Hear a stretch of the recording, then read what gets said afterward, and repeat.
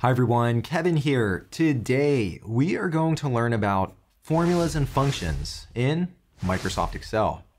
Maybe you have a job interview coming up or a test where you have to demonstrate your knowledge of Excel. Don't worry, I've got your back. We're going to start with the fundamentals of how you can even enter a formula into Excel, and then we'll advance to the most commonly used functions. By the end of this video, you'll be a pro with formulas and functions. To follow along, I've included a workbook down below in the description. You can also jump around this video using the timestamps down below. All right, let's get started.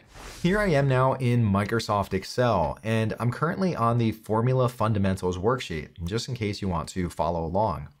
And I want to calculate how much revenue I earned from the three different types of cookies that we sell here at the Kevin Cookie Company. So I could use a formula to calculate this, but even easier, I want to add up these three different cells. When I highlight these three different cells, if we look down below here on the status bar, you'll actually see that we have the sum right here. It's 23, and that's how much revenue we made from these cookies. So you don't even have to enter in a formula to get some basic metrics back. And in fact, if I click on the sum here, I can go into the total cell and press Control V to paste. And here I've added up all of these different cells, just like that, just by using the status bar. Now down below, when I have these three values highlighted, I could also go to the status bar and right click. And here, if I scroll down this menu, you'll see that I also get the average, the count. Here I could get the min, the max, and here I have the sum. So here, if I check this on, here I could also see the max now down below on the status bar. So this is one way to get some quick answers without even needing to enter in a formula. Now, of course, this video is all about formulas and functions, and we should probably enter in our first formula. So here I'll come up and let me delete the 23 that we got from the status bar. And here, once again, I want to add up 10 plus 8 plus 5. So the first thing I need to do to enter a formula is to enter the equal sign. This tells Excel that I'm about to enter in a formula. And here I could take 10 and I could add 8 and I could add 5. Here you could see my very basic formula. Now if we look up above here in the formula bar, you'll see the formula here as well. To calculate this formula now, all I need to do is to press the enter key. Congratulations! You just entered your first formula in Excel. To go back and edit this formula, here I can click into this cell and here we see the formula up above. So I could modify the values up here. Or alternatively, I could also double click into this cell and this will once again show me the formula and then I can make modifications here.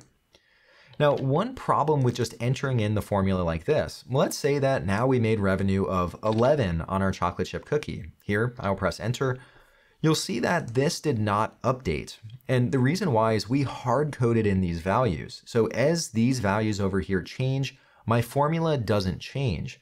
So instead of hard coding these numbers or values in, instead I want to reference the different cells. So here, for example, instead of typing in 10, I want to use cell B2. So here, let me delete 10 and I can type in B and then I'll enter 2. And here you see that the cell has now highlighted. And here also for the 8, instead of hard coding that, here I'm going to type in C2. And also here, I want to type in D2 for the sugar cookie revenue. And now I can press enter. And here you see I get the same result. But the nice thing now is, let's say the revenue for the chocolate chip cookie changes. Let's say it's now 11. You'll notice that the total automatically updates. When I click back into the total cell, here you'll see that Excel uses different colors. So here you'll see blue on B2, and this is also highlighted by blue. Here C2 is red, and here you see red, and here's purple, and here you see purple. So the colors here in the formula correspond to the cells that they're referring to. Now, of course, typing in a cell reference works, but it also requires quite a bit of effort. And instead, we could use our keyboard or our mouse to reference specific cells. Here once again in the total cell, I'll enter the equal sign. And instead of typing in B2, I can simply use the arrows on my keyboard to select that cell.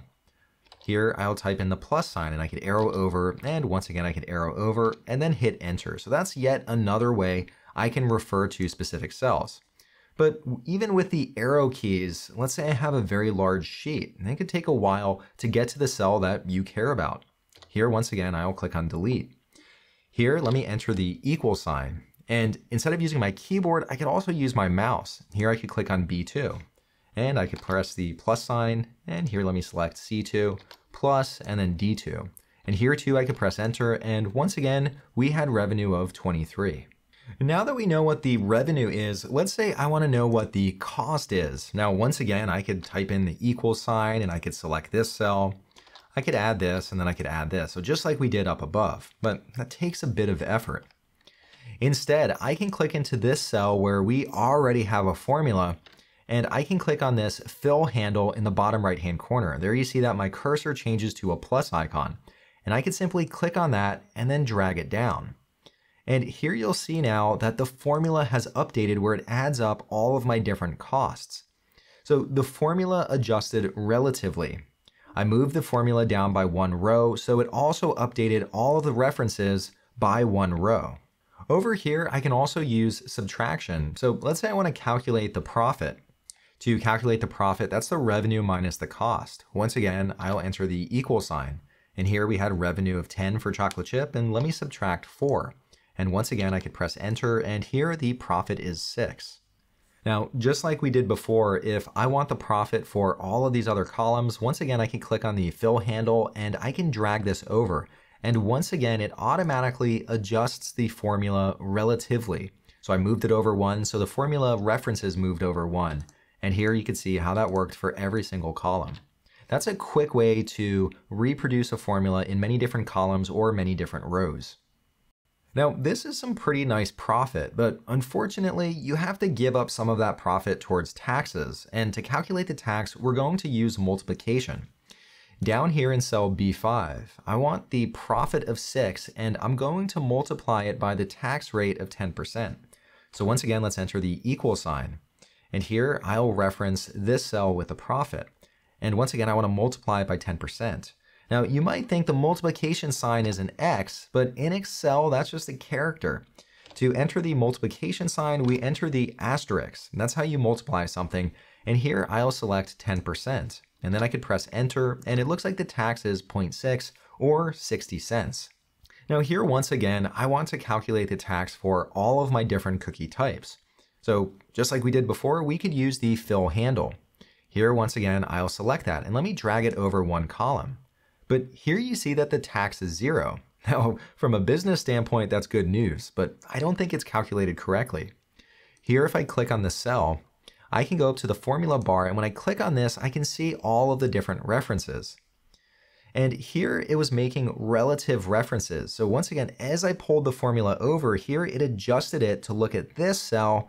But if we look up here at the tax rate, it also moved this reference over one. But I want the reference to point at this specific cell, or G2. So I basically want to lock this reference. So let me go back to the original formula where we calculated the tax. And in here, once again, I want to lock this reference in. And we're going to use a shortcut key to do this. We can press the F4 key or the function 4 key on our keyboard. And you'll notice that it adds a dollar sign before the G and a dollar sign before the 2. The dollar sign tells Excel that we want to lock both the column and the row. Here I'll press enter. And now if I pull this over, you'll notice the formula works as we expect it to. And when I click in, here you can see that it adjusts this first cell relatively, and then it locks in the tax rate. And here it did that for all of the different tax calculations. This is what's referred to as an absolute reference. As a quick note, here when I'm in this cell and we see the formula up above with the dollar signs, if I press F4 again, now you just see a dollar sign on the row. If I press F4 again, you just see the dollar sign on the column. So you could just lock the column or you could just lock the row. And here if I press F4 again, it removes it from everything. And once again, it's purely just making a relative reference. But once again, I wanna lock it, so I'll press the F4 key. With this formula, I'm currently referencing the tax rate that's on the exact same sheet, but you can also reference a cell on a different sheet. So here, once again, let's go back to this first cell. Here, I'll delete these different values. And instead of referencing the tax rate here, let me delete this. And right now I need to enter in the tax rate. And it turns out there's another sheet called tax rate. I can click on that sheet and here we see that tax rate of 10%. I could click on it here, and once again, I could press F4 to make this an absolute reference. Here, I'll press enter. And once again, this works. And here you see that it uses the worksheet names, so it's pointing to this tax rate sheet, and then the cell on that sheet. You could even refer to a completely different workbook if you want, and you'll see the notation appear right up here in the formula bar. Now, once again, I can take the fill handle and let's calculate the tax across all of these different columns. Now, this seems to work well where I'm referencing a different sheet, but when you look at the formula itself, it, it's a little bit messy. You have the sheet name and then you have the cell reference. I'll go back to the tax rate sheet and I can give this cell a name. So I don't have to refer to it as A2, but instead I could use the name reference. Right up here where you see A2, here I can simply type in tax rate and then press enter. I've now assigned a name to this cell. Let's go back to formula fundamentals. And here, instead of referring to the sheet and the cell, I'm going to delete that. And instead, I'm going to type in tax rate. And here you see a hint that this is a known name. Now I could press enter and that too works. And it's a lot cleaner now. Now I simply refer to tax rate and it's really easy to understand what that is.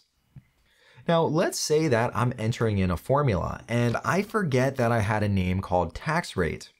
I can press the F3 or function 3 key to see all of the different names. When I press F3, here I get all of the different defined names, and here I see tax rate. I can simply double click on that, and that inserts tax rate into my formula, and then I could press enter. So once again, that's another way to get back to your different named cells. We've looked at addition, subtraction, and multiplication, and you can also do division as well. Here I'll go down to the profit split cell. And here at the Kevin Cookie Company, we made $14 of total profit. For now, I'm going to ignore taxes. And let's say that we have two owners of this company. It's me and Patty. So here, once again, I'll type in the equal sign. Then I'll select the total profit that we earned. And I want to divide it by two to see what my share is. To do division, we're going to enter the forward slash, and then here I will simply type in 2 and press enter. And here we can see that my share of the profit is 7, and Patty's share of the profit is also 7. Next, let's move on to the order of operations worksheet. And here, once again, I see the revenue, the cost, the profit, and the tax for chocolate chip cookies. Now, let's say I want to calculate all of this in just one cell to see what the tax is. I'll enter the equal sign, and first off, I need to take the revenue, I want to subtract the cost, and that should give me the profit. And next I'm going to multiply this by the tax rate of 10%. And then I'll hit enter. But whoa, what's going on here? My tax is 9.6, but my profit was only 6. That's ridiculous. I mean, I, I know tax rates are going up, but it shouldn't be more than my overall profit. The problem here is the order of operations. And when I click into the cell, let's double click in, we could take a look at how Excel calculates this. Excel looks for multiplication and division first, and then it evaluates that part of the formula. So here, for example, it's taking 4 and then it multiplies it by 10%, or 0.1, and that gives us 0.4 as the result. In fact, if you want to calculate a portion of your formula, here I have this portion highlighted, I can press the F9 key, and here I can see that it evaluates to 0.4. I'll press Ctrl Z to undo that. So it's taking 10 and then it's subtracting 0.4. And once again, that gives me 9.6. Now, I wanted to first calculate 10 minus 4 and then take the result of that and multiply it by 10%. To do that, I can use parentheses, and that way I can define what I want the order to be. Here, I'll put a parentheses around B2 minus B3. That way, Excel will evaluate this, it'll take the result, and then it'll multiply it by 10%. Now when I press enter, I get 0.6, and that's exactly the same as what we got on the previous sheet. So one thing to be aware of when you enter formulas, there is an order of operations. Now, up to this point, we've purely been looking at formulas. And next we're going to look at what's called a function. But how is a function different from a formula? Well, with a function, you can pass in a parameter or an argument, and then you get a result back. Now, I know that probably doesn't mean that much, so why don't we make this real and look at some examples. Here on the basic functions worksheet, I want to answer the question, how many cookies did we sell? Here I see all of the different cookies we sold, so I want to add up this list. Now, we could just use a simple formula to do this. Once again, I could enter the equal sign and I could take this and I could add it to this and I could add it to that and I could go through this whole list, but that takes a lot of time. Instead, we want to use a function and that'll make this entire job a lot easier. So how do we insert a function? Well, one thing we could do is up here, we could click on formulas or the formulas tab. And over on the left-hand side, there's the option to insert a function. As I hover over, you'll also see that the shortcut key is Shift F3, so you could use that as well. Let's click on this. This opens up the Insert Function dialog, and right up on top it says type a brief description of what you want to do and then click on Go. Now once again, I want to add up all these values, or another way of saying that, I want to sum up all these values. So let's type in sum.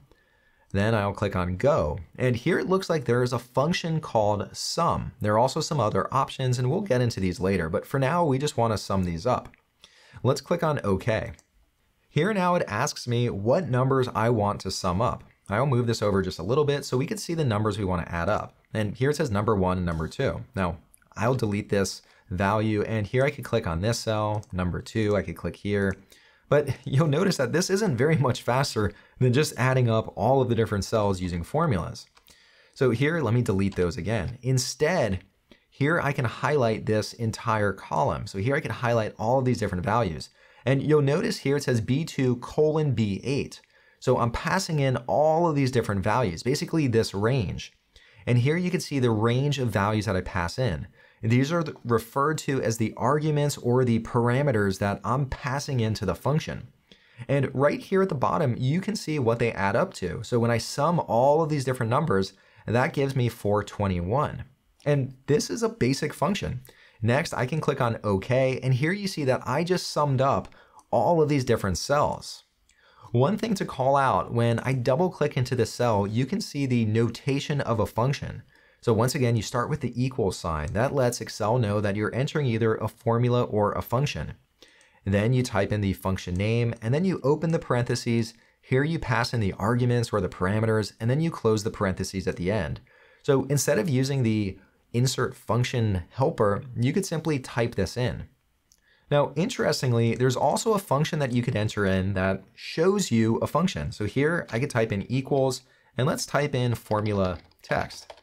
And then here I'll open the parentheses and I have to reference a cell. So let me reference this cell and then close the parentheses. So I'm following the same format that we saw with sum.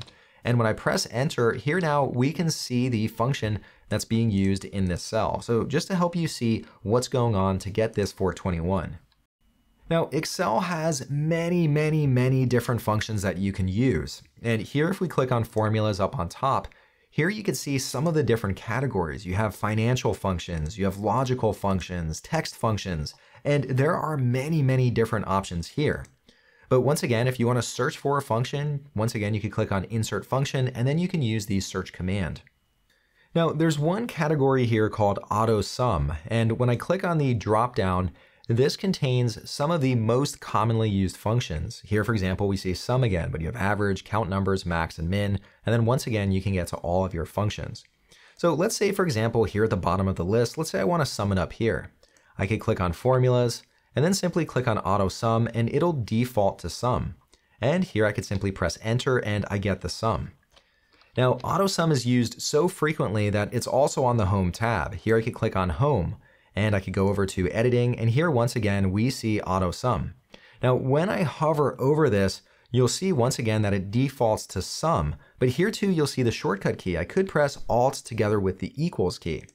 So here I will click into this cell and I can press alt and equals and once again that will also give me the sum. So that's an even quicker way to get the sum. Now once again this is one of the most commonly used functions in Excel. Over on the right hand side, I want to continue answering these different business questions and I want to know the most number of cookies sold. Here, once again, I could click on formulas and let me go back to this auto sum group because it has some of the most common functions. And here's the function for max. I could click on that and here it enters max, but it's looking at this cell. And instead I want the max number from this. So here, once again, I'll highlight this list. So this is the argument or the parameter that I'm feeding in, and I could press enter. And here I could see that chocolate chip had the most number of cookies sold at 97. And here we could validate that by looking at this list. I'll delete the 421. Right over here, I also want to know the least number of cookies sold. And if we just look at this list, we see that it's Fortune with 36. I'll click into this cell. And once again, I could go to formulas, auto sum, and here I could select min. But instead, let's just type in the function. Once again, I'll type in the equal sign and let me type in the function name, min. Open the parentheses and then we have to pass in the argument and that's this list of values. And then I can close the parentheses, hit enter, and here we see that Fortune Cookie only had 36 cookies sold. Let's say instead of knowing the max or the min, I want to know, well, what was the second most sold or what was the second least sold? And for that, we could use the function large or small. Here I'll type in equals and I could type in large and then open parentheses.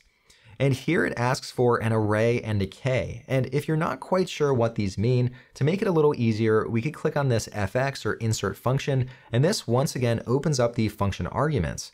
And here we see some hints on what those values need to be. So first off, the array is the range of data. So here I'll click into this cell and let me select my data or what's referred to as the array. And then K, this refers to the number that we want back. So here I want the second largest, so let me type in a 2, and here we can see that it's 77 for oatmeal raisin. I could click on OK, and here I get the result back. So as you enter different functions in, if you need help with them, remember you can click on this FX right up above and that'll open up the function helper and this will help you to compose your function. Down below, I want the second least sold, so let me type in the equal sign, and for this, I'll type in small. And once again, it wants the array, that's this list, and I want the second smallest, so once again, I'll type in a 2, hit enter, and here I can see that peanut butter is the second least sold cookie. With the large and the small functions, we entered two separate parameters. So here, once again, when I open the function helper, here you see that it's asking for an array and it's also asking for the number that we want. So with various functions, you may have many different arguments that you can pass in. And this is just one example where you can pass in two different arguments or two different parameters. Next, let's say I want to know how many cookies had any sales at all, and there's a function for that called count. Here I could type in count, and we see there are also some other options, and in a moment we'll get to what some of those are. But here I'll type in count, once again open parentheses, here I can highlight this list, then close parentheses, and then hit enter. So I can see that seven different cookies had at least some sales. Now let's take a look at the count of the cookie names. So here, once again, I'll type in count and let me highlight all the cookie names. So how many different cookie types do we have? And here I could press enter, but here it shows me zero. So why is that? Well, when we use the count function, this is counting numerical cells. And these cells over here have text-based values, so it's returning a zero. And once again, if I click into this, Let's take a look at some of these other count functions. Once again, I'll type in equals count, and here I see that there's an option called count A. And when we read this, this will return back all of the cells in a range that aren't empty. So let me select that. And here, once again, I could highlight this list, close the parentheses, hit enter, and here now it tells me that there are seven different cookie types.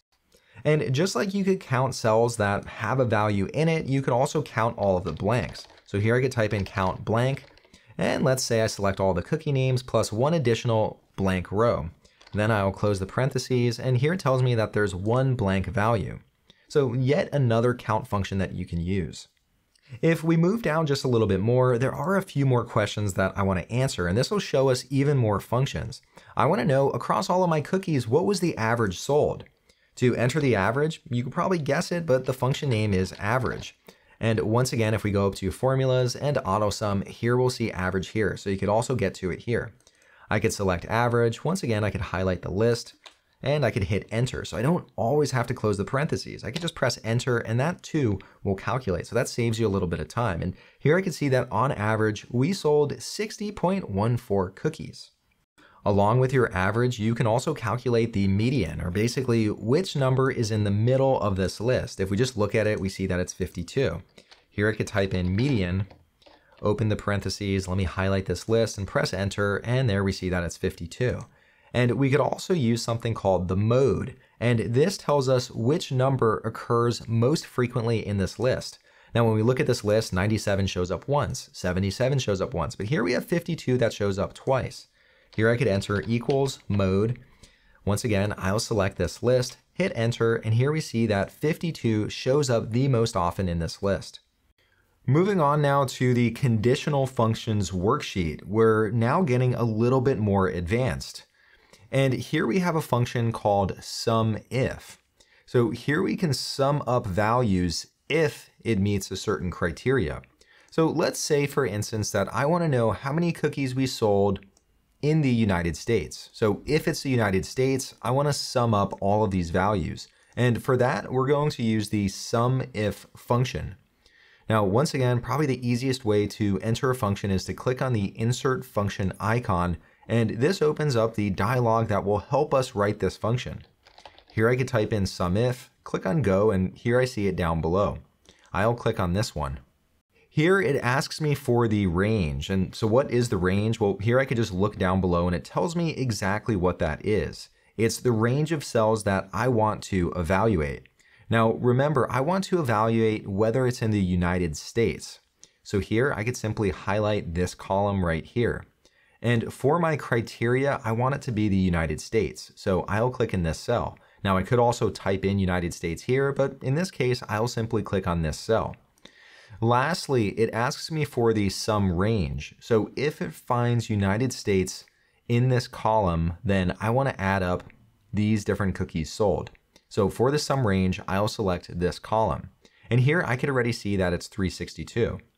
I'll click on OK. And just to confirm, I could highlight all of these different cells. And down below, I can see that the sum is 362. So this is how you can use a conditional function. Down below, you'll see some additional functions like average if, and here's count if. And these work the exact same way as sum if. If some condition is met, then you'll average out all the values. Or if some condition is met, we could count all of those items. So once again, they work exactly like sum if, except in this case, you average or you count.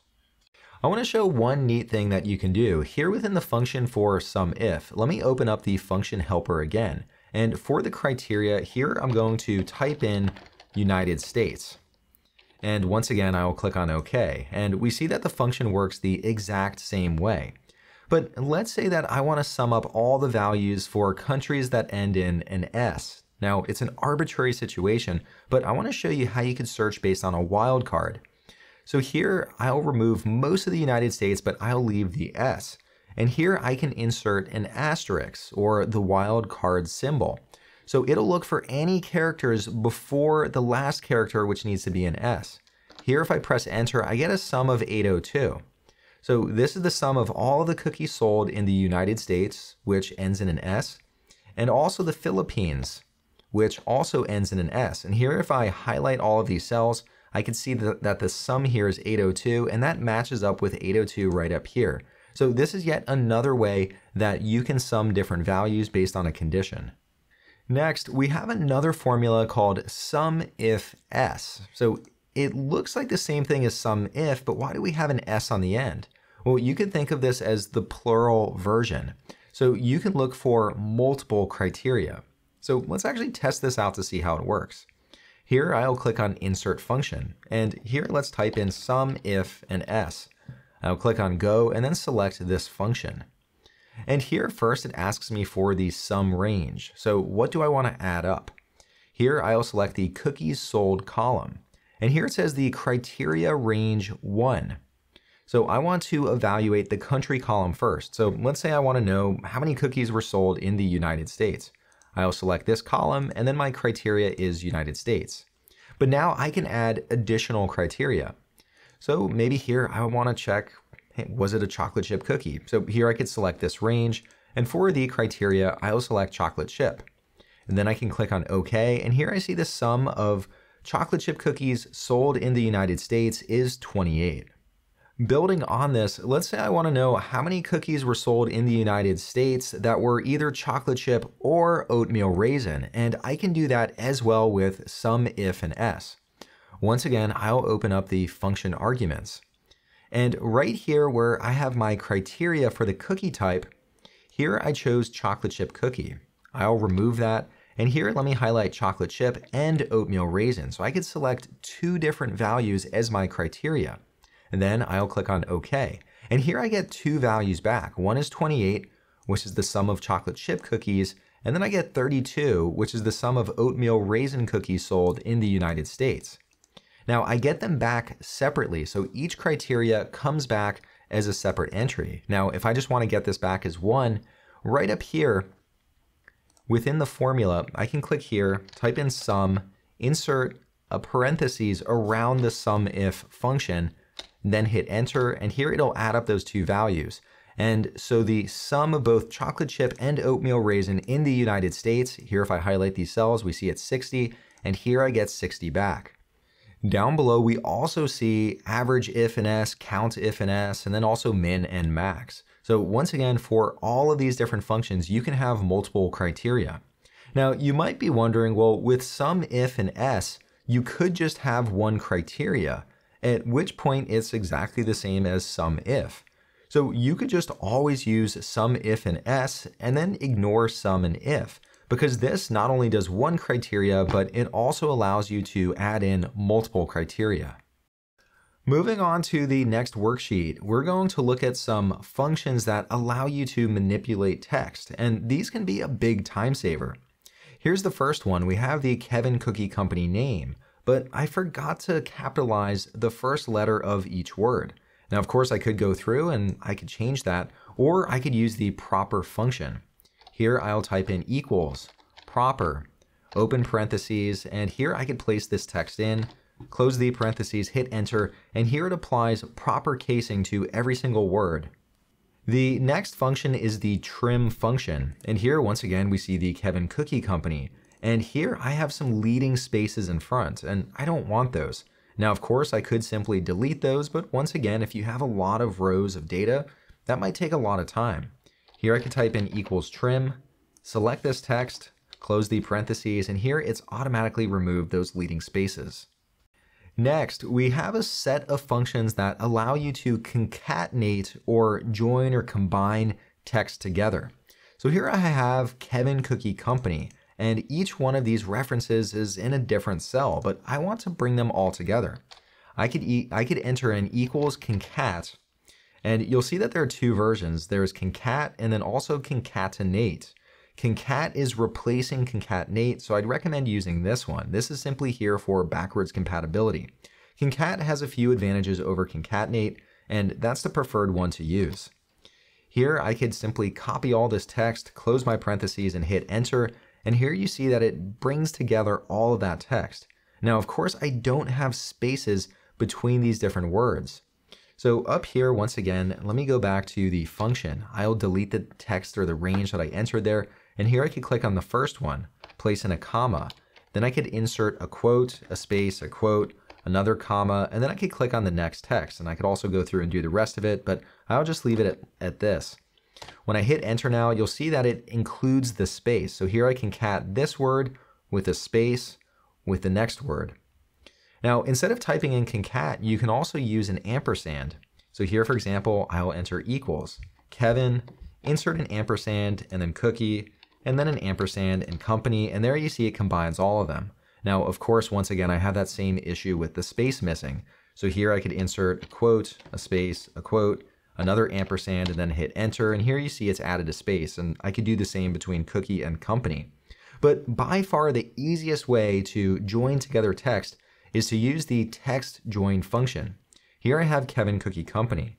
I'll enter equals text join, open parentheses, and here I get to specify what the delimiter is or what's going to separate each one of these cells full of text. I'll enter a quote, a space, a quote, a comma, and then I could say, what should I do if I encounter an empty cell? Here, I'm just going to ignore them, put in a comma, and now I can select all the text that I want to join. I'll highlight these three, and then hit enter, And here I get Kevin Cookie Company back with a space in between each word. So out of these three options of concatenating or bringing together text, text join is by far the most powerful one. Moving on, we have some additional functions here, right, left, and mid. And these allow us to take out text from the right-hand side, the left-hand side, or the middle. So what do I mean by that? Well, let's say that I want to pick out the zip code from this address. I can use the right function. I'll enter in right, and then I'll select this address as my text, a comma, and then I need to define how many characters do I want to take out from the right. And here we can see the zip code is five characters. I'll type in five and then hit enter and this pulls out the zip code.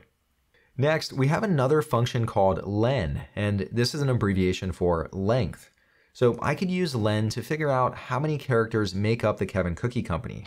I could type in equals len, open parentheses, and then I could put this text in close parentheses, and there we see that it's 20 characters long.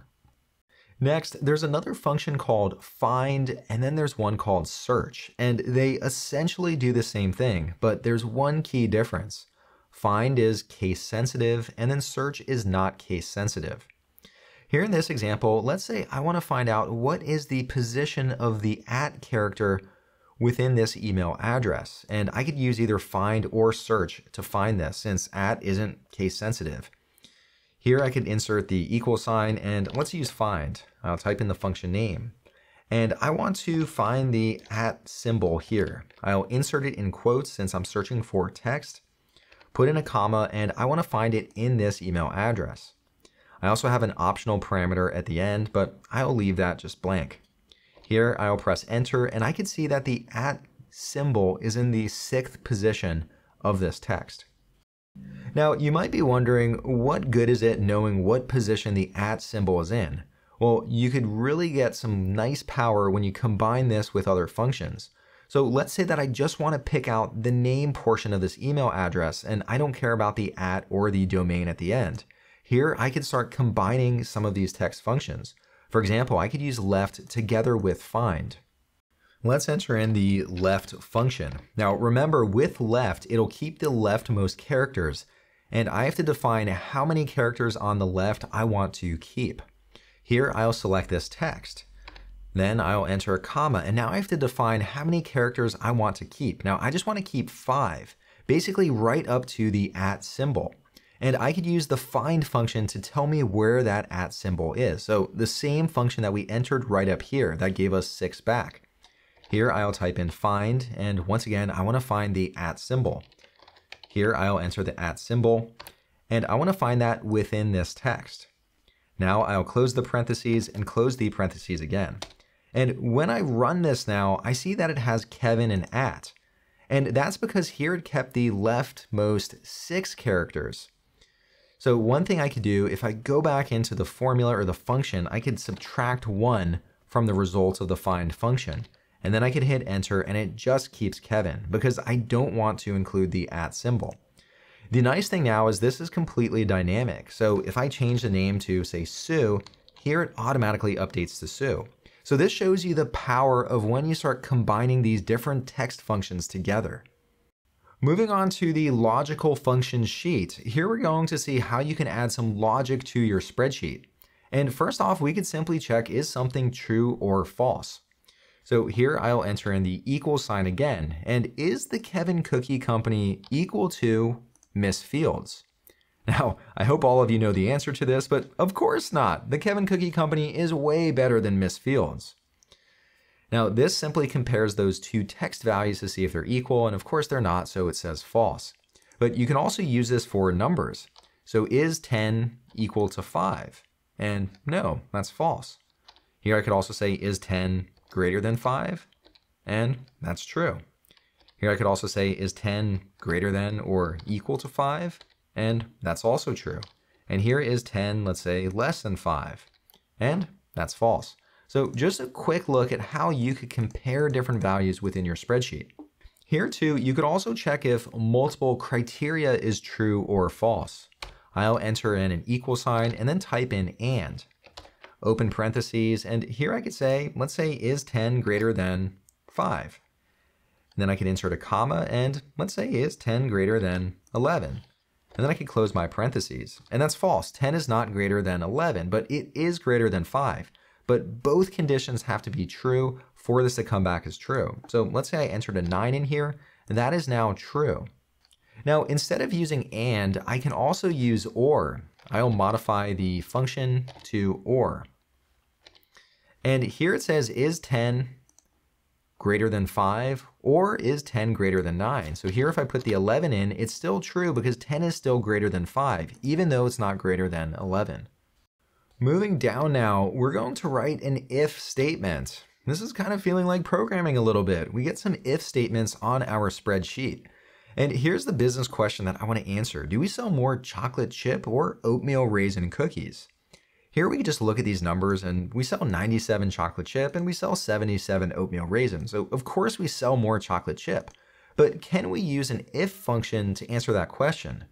To make this easy, let's click on the function helper up here and let's type in if. And here I see the if function. Let's select this one. Now here I can run what's called a logical test. So let's say is 97 greater than 77. That's my test, and here it comes back true. And then I can define, well, what happens if it's true? So here I'll say we sold more chocolate chip. But if that's false, and this is not greater, than, I could say, let's say oatmeal raisin. And then I could hit enter. So do we sell more chocolate chip or oatmeal raisin? Well, we sell more chocolate chip, but let's say that oatmeal raisin, let's say we had a big day of sales and I sold 150. Well, now it automatically updates and we've actually sold more oatmeal raisin now. Moving down, we can also use AND together with our if statement. So here, for example, does chocolate chip sell more than all other cookies? So let's once again insert an if statement. Here, I'll click on the function helper, and I'll select if again. So here I can enter my logical test. I'll type in AND. Remember, this is just like we did up above. And I want to run two separate tests. First off is 97 greater than 150. And for my second test, I want to check is 97 greater than 50. Then I'll close my parentheses. And if true, let's say yes. And if false, I'll enter no. then I can click on OK. And here we see that does chocolate chip sell more than all other cookies? No, we don't. Oatmeal raisin sells more. But let's say I typed in 96 here. Now it's yes. Now, just like we looked at previously, here I can take this function and let's use it for this OR statement. So does chocolate chip sell more than oatmeal raisin or sugar cookie? I'll paste in this function and instead of using AND, I'll type in OR, then hit enter. So does chocolate chip sell more than oatmeal raisin or sugar? Now let's say oatmeal raisin sold, let's say 150. Well, it still sold more than sugar cookie, so it's still yes. But let's say sugar cookie also sold 150. Now it shows no. So that's how you can use and, and or within an if statement. Now, you might be wondering, can you include an if statement within an if statement? And you absolutely can. And here in this example, let's say I want to know the price of a chocolate chip cookie. So here we see all the cookie types and the associated price. And I can use a nested if to figure out what the price is for this cookie type. Let's work through it. Here, I will enter the if function. And first, I want to check, is this cookie type this one right here? And if it is, well, I want to get this price back. But if it's not, well, we want to then check the next row. So here I'll type in if again. And here I want to check, is this name equal to this cookie type? And if it is, we get this price back. And if it's not, then we want to run one more if statement. So is this cookie type equal to this cookie type? And if it is, this is our price. And if it's not, then we'll say unknown. And then I can close the quotes, close the parentheses, close the parentheses again, and close the parentheses again. One thing that's really helpful when you're closing the parentheses, you'll see color on the parentheses. So the first one's black, the next one's red, the next one's purple. And here you can tell that I've inserted all the right number of parentheses. Now I could hit enter and I could see that the price of chocolate chip is 10. But here I could type in sugar cookie and there I see the price is 5. So that's how you can use nested ifs to do that. Here I'll enter in formula text just so we can see what all of the formula looks like. So you'll notice it's a fairly long formula and it starts to get pretty complex. Now there's something new called if-s that makes this a lot easier. Here I'll type in if-s. And here first I could do the first logical test. So is this cookie type equal to this one? And then if true, I want this price. The next logical test is this cookie equal to this one? And if true, I want this price. And lastly, is this cookie type equal to this one? And if so, I want this price. Now I can close my parentheses and hit enter and here I get five back. I'm gonna move it over one. And once again, let's show the text for this function. And you see it's a little bit shorter and easier to read than what you see up above. And in fact, with if-s, there's really no longer a need to use nested if functions anymore. Instead, you could simply use if-s. And I think you'll find that it's a lot easier. Moving on to the next worksheet, we're going to look at lookup functions. And this allows you to look things up. So here, for example, I have a table with cookie types, the associated price, and the associated cost. And let's say I have the question, well, what is the price of an oatmeal raisin cookie? So to look that up, I would say, well, oatmeal raisin, well, here's oatmeal raisin, and oh, here's the price. So I just looked that up. But we could have Excel do that for us using the function VLOOKUP. Here, once again, let's click into the function helper, and I'll type in VLOOKUP, and here it is. Let's click into that one. Here, first it asks me, what is the lookup value? So what do I want to look up? Well, I want to find the price for oatmeal raisin. I'll select that. Then it asks me, well, what is the table where you want to find this? Well, this is my table, so let me select the table. And then it says, well, what is the column index number? What is a column index number? Well, that's what column do I want to get back when it finds a match. So here it looks in this table, it'll look at the first column, and when it finds a match here, I want to get the price back, and the price is the second column of this table. So I'll enter a 2 here.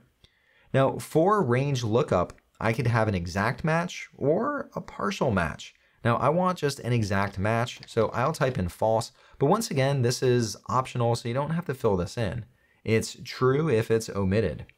I'll click on OK, and here I see the price of oatmeal raisin is 8. Now here I could type in sugar cookie, and here you'll see that the price is 5. So here it automatically does the lookup for me. Now right down below, there's another function called XLOOKUP, and this replaces VLOOKUP. It's a newer function that's available in the newer versions of Excel, and it has some key advantages over VLOOKUP. But first, let's do the same example and see if we get the same result. Once again, let's open up the function helper. And here I'll type in xlookup. Let's see if it shows up, and there it is. Here it asks me, what is the lookup value? And that's what I want to search for. And I want to search for sugar cookie. And then it says, well, what is the lookup array? And so this is a little different from VLOOKUP. I want to look in column A for sugar cookie. Here I'll select column A, but I could also select these values, but I want to select the column. And then it wants to know, well, what do you want to return? And I want to return the price. Here I have some optional parameters like, well, what if it's not found? Do I want to give an error message back? I have match mode. Here, if I scroll down, you'll see a few other options. So we have a few more options compared to VLOOKUP. I'll click on OK. And here we see I get the exact same thing back. And it works the same way. Here I could type in chocolate chip. And you notice that I get the price of 10 back. So why would I ever use XLOOKUP compared to VLOOKUP? Well, let's look at some of the advantages. What if I wanted to get the price back and I wanted to get the cost back? Once again, let's click into the function helper. And for the return array, right now I have it set to just give me the price back. But here I could highlight these two columns. And here I get two values back. I get both the price and the cost. So I can get an array of values back. Also, let's say that the cookie type column was the third column and price and cost came first. VLOOKUP wouldn't work anymore. When you use VLOOKUP, the column or the value that you're looking for has to be the leftmost column, and then the values that you return have to be to the right of it. But with XLOOKUP, you can return any column, even if it's over to the left. Next, I want to show you some date and time functions, and these are really simple. They're actually functions that you don't even pass any arguments or parameters into. So let's say you want to get today's date back. You simply type in equals today, open and close parentheses. And the reason why is you're not passing any values in. When you hit enter, you get today's date back. And down below, you can also type in now. It works the same way as today, except instead of just getting today's date back, you also get the current time back. Here we are on the very last worksheet. You've made it just about to the end, and so I wanted to give some bonus tips of how you can work with formulas and functions. On this sheet, I have a number of different numbers, and some of them have formulas and some of them are just a number on its own. Here you'll see it's a mix of both. So how do you quickly identify all the formulas and all the numbers? Well, you can press the shortcut key Control together with the tilde character, and that'll automatically show all of the different formulas and functions on your sheet. Here you'll see that I have a few different formulas, and here I reference a few different cells. And I could press Control tilde again, and I could toggle back and forth between those views. So that's a nice way to just view all of your formulas. Now, let's say you just want to see all of your formulas and maybe you want to highlight them. Let's click on the Home tab up on top. And over here, let's click on Editing. And then here we could click on Find and Select. Here you'll see the option for Find Formulas. I could click that and that'll highlight all of the formulas on my sheet. And now here I could apply some color if I just want all of my formulas to stand out. And once again, if I press Control tilde, once again, you can confirm that these are all of the formulas on the sheet. Now, one more thing I want to show you. When I click into this cell, you'll notice that it references two other cells. And when I click into this cell, this also references other cells.